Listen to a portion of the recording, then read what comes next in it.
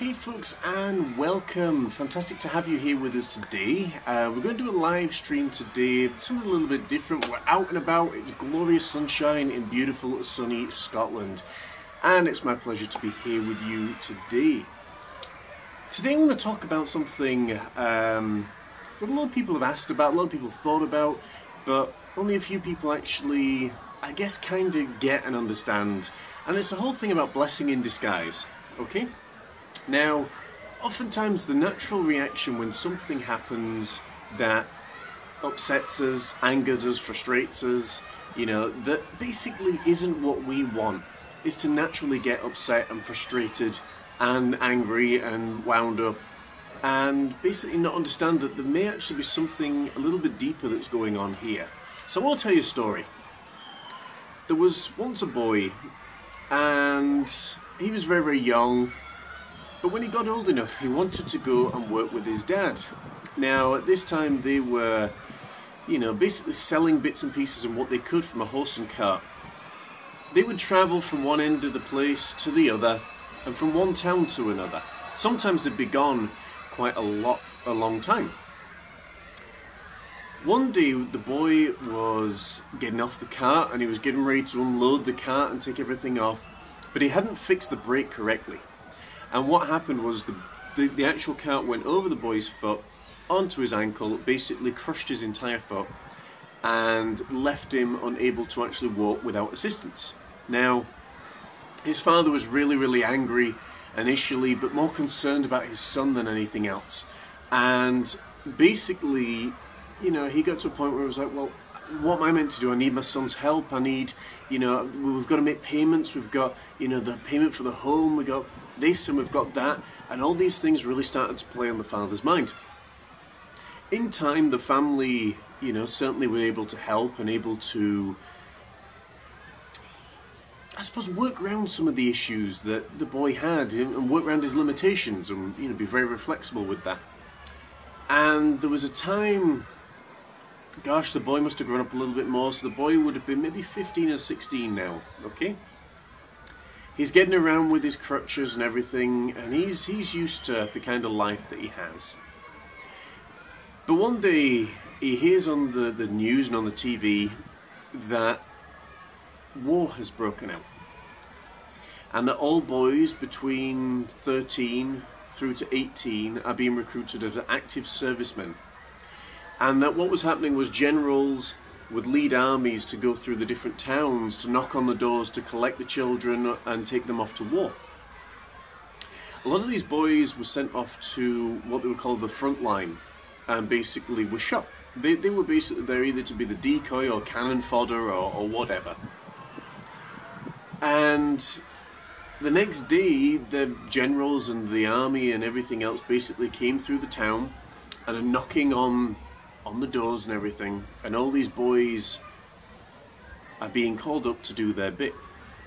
Now, a lot of these boys essentially were taken away, they knew they were never going to see their families again. The family get a knock on the door,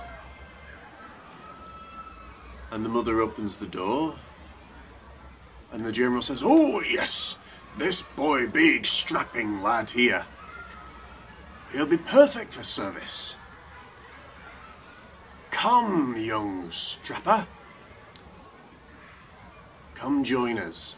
We'll put you straight at the front line. You'll die a hero's death. This is what they were being told. Upon trying to stand, the general all of a sudden saw the infirmity that the boy had. He couldn't move without crutches. There's no way that he could carry guns or or bear the load of a heavy army bag. And the general said, I'm sorry, son, but you're just not going to cut it. We can't take you because you'll be more of a liability to us than anyone else. In that one instant, the boy had been saved essentially from certain death. And what appeared to be an infirmity, a limitation, a holdback, a setback, actually was the very thing that saved his life. Now, as time went on and techno- te- technology, I'll try that again, technology grew, they actually developed more suitable ways for the boy to get around.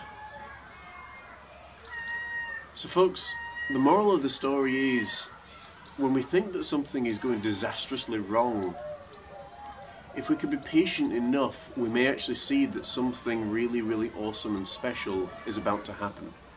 Now, for years I was asked, you know, when I was a youth worker, when I was a preacher, and all sorts of things, well, you're this, you know, religious dude. Okay, first of all, religion is man-made. You know, my relationship is with God. I'm just throwing that out there. But they said, you know, you're you're this you're this holy man. Um, you know, and yet you've got this illness. I said, yeah. And they said, well, why why would God give you that illness? I said, well, I don't know. Expecting me to have the answers. But as time went on and I thought about it more, I just look at the surroundings and the world within which I live and, and reside now.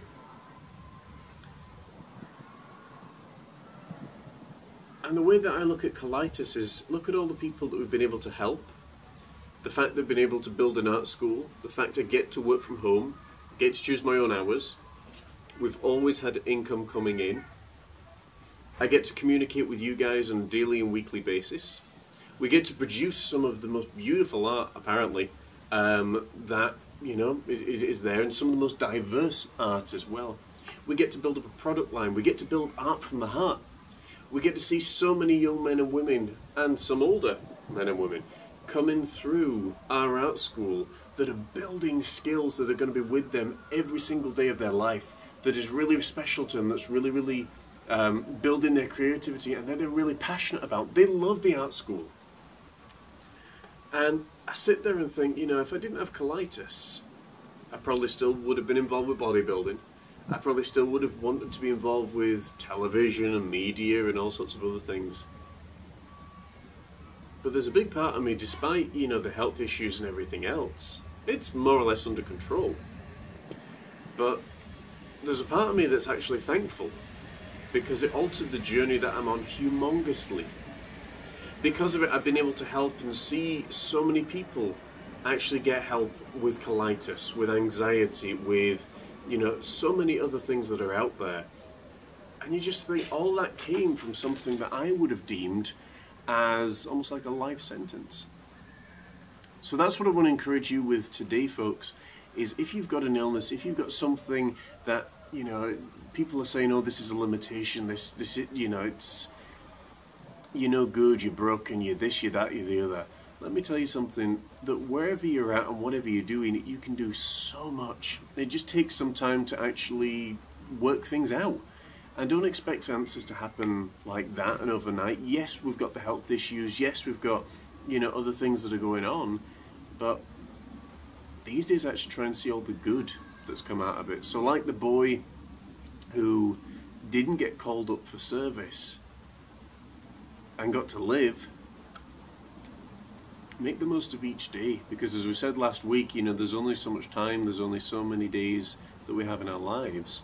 And, you know, someone uh, put on uh, Instagram this morning something along the lines of, you know, about Monday, you might not enjoy, um, or it might not be your favorite day of the week, but every day, you know, above ground is uh, is a blessing or something like that it just caught my attention and I thought, yeah, that's that's uh, that's really cool.